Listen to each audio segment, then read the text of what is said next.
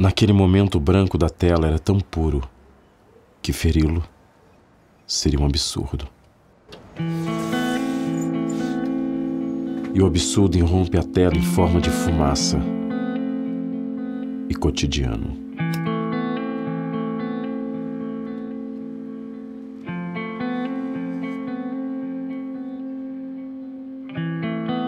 A dona do tempo.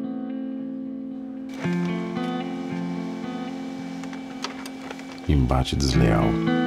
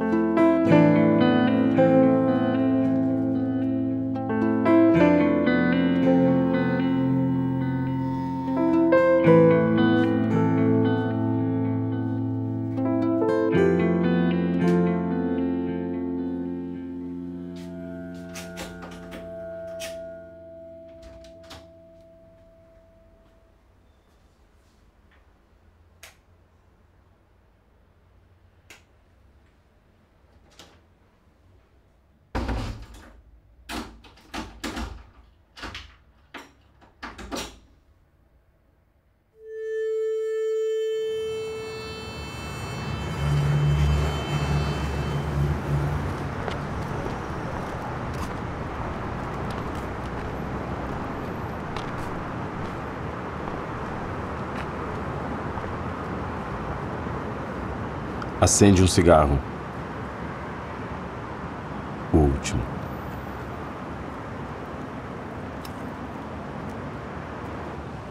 As coisas, os lugares, os objetos não pareciam distantes. As pessoas, sim.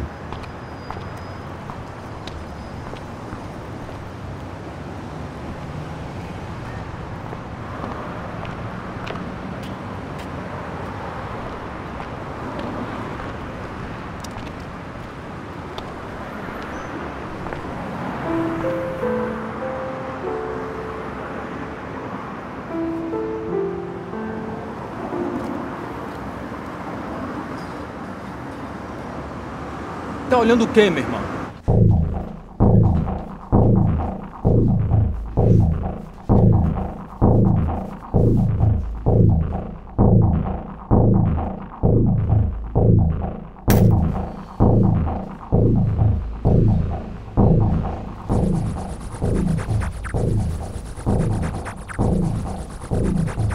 O dono do tempo.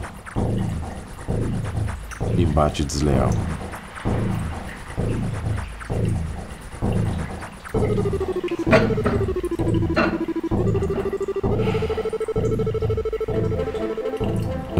Hostil. De um lado, Os visigodos, guerreiros enfileirados, prontos para a luta, ostentando suas brilhantes armaduras e a ideia do triunfo.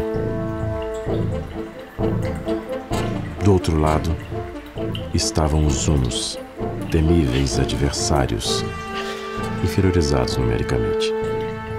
E o seu grito de guerra. Kerku! Ao comando dos visigodos estava ele, Cassiano, o terrível, dotado da simplicidade de Diógenes, o hippie, e da invencibilidade de Aquiles, o imbecil. Também cognominado o calcanhar de ouro da seleção grega. Seria condescendente com o inimigo se depusesse as armas pacificamente. O último bolo da matéria fecal atravessou o esfíncter. A batalha jamais se concretizou.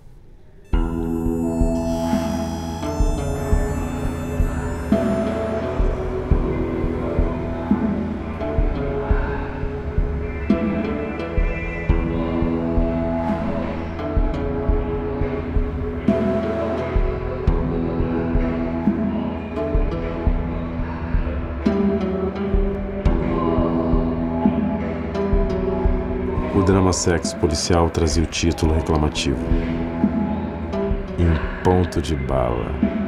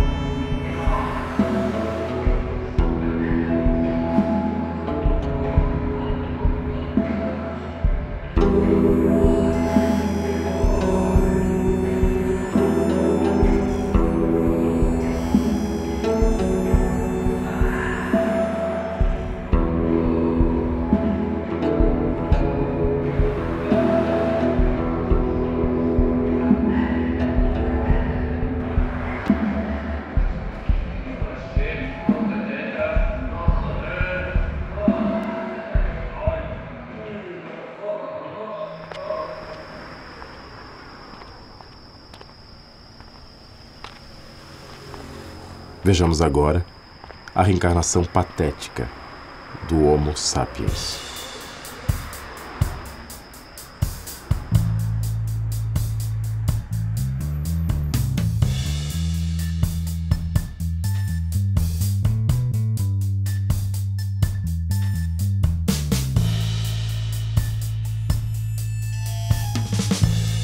As divagações existenciais eclodem na ruptura da casca inibitória substituindo os conceitos filosóficos por afirmações fisiológicas antropocêntricas. E o eminente epistemológico com ares de Zeus do Olimpo assume o trono irreal do saber, tornando utópica qualquer tentativa de diálogo consciente.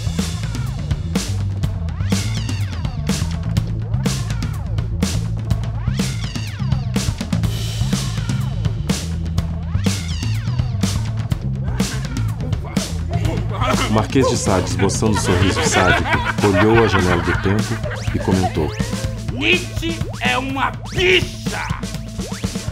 Seguia-se então a interminável polêmica sobre se deveria ser extinta ou não a grande ordem da Sociedade Defensora dos Gafanhotos, onde se conclui que Catarina, a Grande, antes de haver sido concubina de Freud, possuía um forte complexo de superioridade.